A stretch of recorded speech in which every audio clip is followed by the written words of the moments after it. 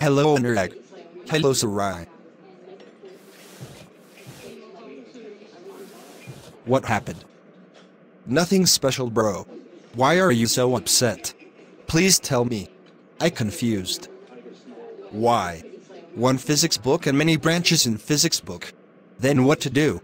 What's the problem in? Yeah. One is classical mechanics, comma two is relativistic mechanics, three is quantum mechanics, comma four is quantum field theory. Yeah. They have many branches but it is not hard. Why did you slaps me? So much talking for mind fresh. I also so. Please all this. And tell me about classical physics. I think. Professor Mechanics is best for this branch. Let's go. Professor Mechanics' house. Not today. We will go tomorrow. Okay. I am going to the blue house. Okay as you, our wish.